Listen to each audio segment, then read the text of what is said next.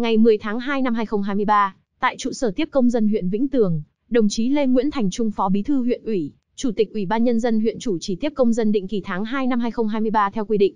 Cùng dự buổi tiếp công dân có đồng chí Nguyễn Giang Bắc, Ủy viên Ban Thường vụ huyện ủy, Phó Chủ tịch Thường trực Hội đồng nhân dân huyện, đại diện các cơ quan, đơn vị liên quan. Tại buổi tiếp, đồng chí Lê Nguyễn Thành Trung, Phó Bí thư huyện ủy, Chủ tịch Ủy ban nhân dân huyện đã tiếp, trao đổi, trả lời kiến nghị của công dân Hạ Văn Tập, thôn 4, xã Vĩnh Sơn kiến nghị Ủy ban nhân dân xã Vĩnh Sơn xác định diện tích đất ngõ cửa chùa làm cơ sở cấp giấy chứng nhận quyền sử dụng đất cho gia đình ông.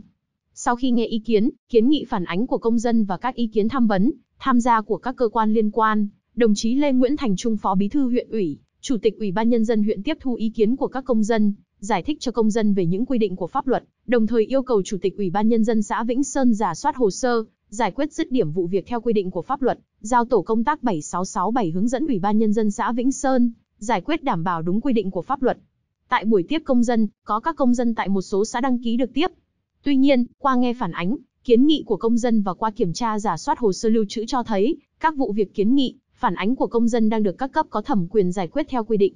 Sau khi được cán bộ tiếp công dân giải thích tận tình, các công dân đều đồng thuận, nhất trí và không có ý kiến gì thêm. Đối với công dân đến gửi đơn kiến nghị, phản ánh, ban tiếp công dân huyện đã tiếp nhận, xử lý đảm bảo theo đúng quy định.